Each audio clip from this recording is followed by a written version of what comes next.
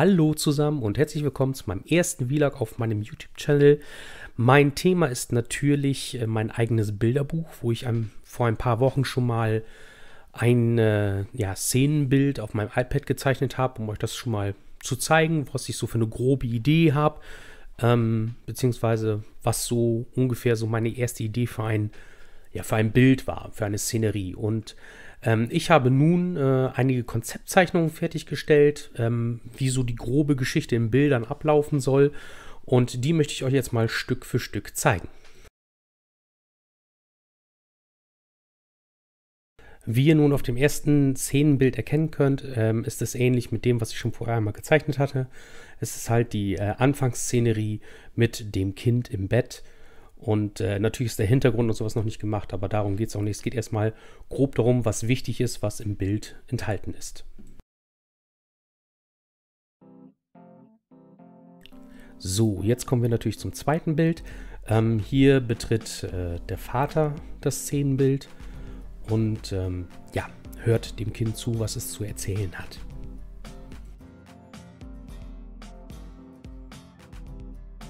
Im dritten Bild sieht man natürlich nun, wie das Kind seinen Traum dem Vater schildert und wovor es alles Angst hat.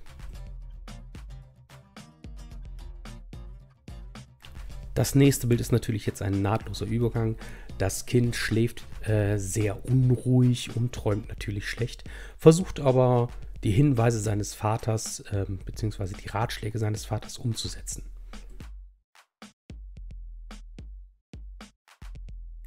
In diesem nächsten Bild begegnet er jetzt dem ersten Dino.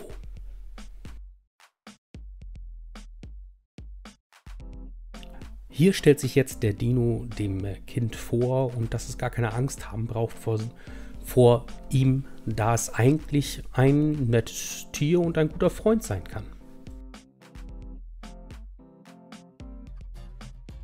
Das nächste Szenenbild äh, beschreibt nun die Begegnung des Dinos und des Kindes mit äh, einem weiteren Dino.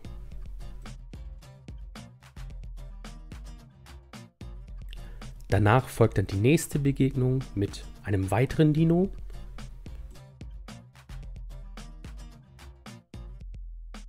Im Anschluss daran erklärt natürlich dann wieder der ja, große Dino, was es mit dem neu gefundenen oder neu entdeckten Dino zu tun hat und dass er auch hier wieder keine Angst davor haben braucht. Wie könnte es anders sein? Hier folgt natürlich dann schon die nächste Begegnung mit einem weiteren Dino und wieder einmal im Anschluss erklärt dann ähm, der Tyrannosaurus, der große Dino, ähm, was es mit diesem neu entdeckten Dino wieder auf sich hat.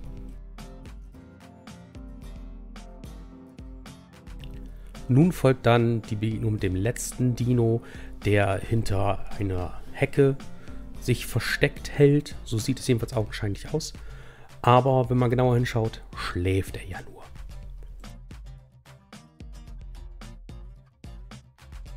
Ja, und hier im nächsten Bild sieht man jetzt, wie der Dino dem Kind äh, noch ein paar Ratschläge und Tipps gibt und ihm nochmal erklärt, wie das so mit den Träumen funktioniert.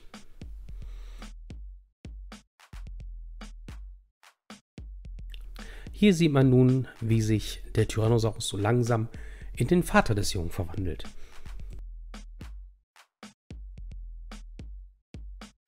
Und hier im letzten Bild sieht man nun, wie der kleine Junge zufrieden in seinem Bett schläft.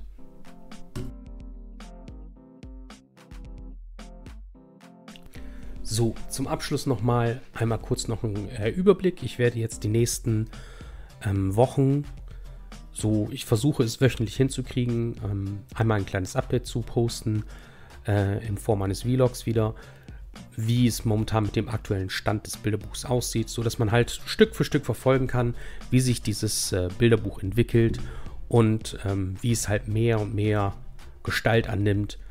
Und bis ich dann hoffentlich, also mein Plan ist bisher, es äh, bis Weihnachten fertig zu kriegen, äh, bekommen, meine ich, so dass man äh, Weihnachten dann äh, die Premiere des äh, Bilderbuchs hat. Von daher vielen Dank fürs Zuhören und ich wünsche euch noch eine schöne Woche und bis zum nächsten Mal. Euer Dissel.